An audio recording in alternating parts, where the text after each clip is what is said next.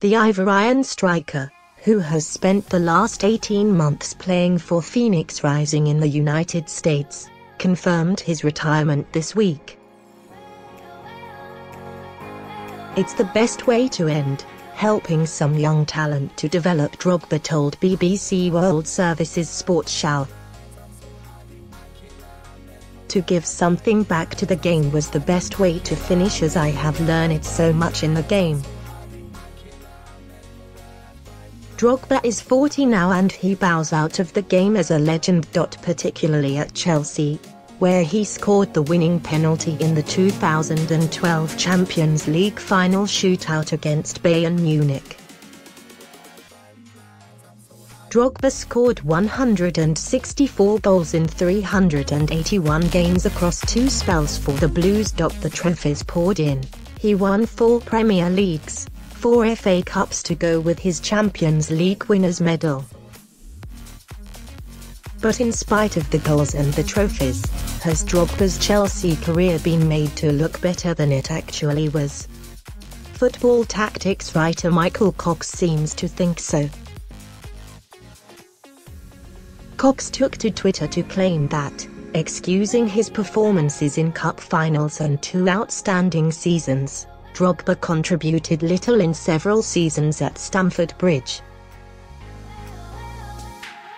Strange player. Best cup final player you'll ever see and two outstanding seasons, but also quite a lot of bad campaigns where he contributed little and Chelsea tried to build without him Cox tweeted.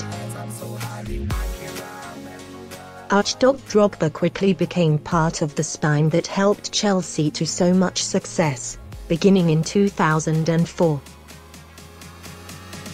But, as Cox goes on to state, his goal return in the Premier League was sometimes disappointing.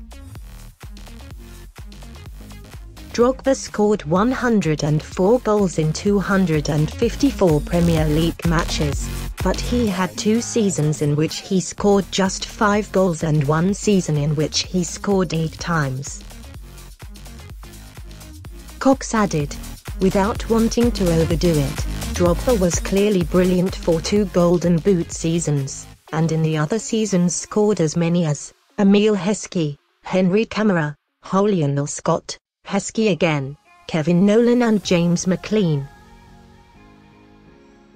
Won't include his comeback campaign.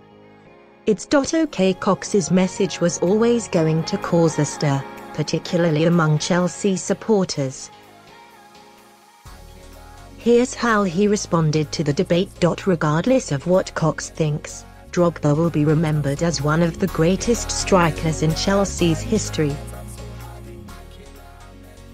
On his day, he was simply unstoppable. It's no wonder former Manchester United defender Nemanja Vidic considers him the toughest opponent he faced during his career. Cox went on to admit that his tweet about Drogba may have been harsh, before highlighting his favourite goal that the former Ivory Coast international scored for Chelsea, his superb strike against Tottenham in the 2011-12 FA Cup semi-final.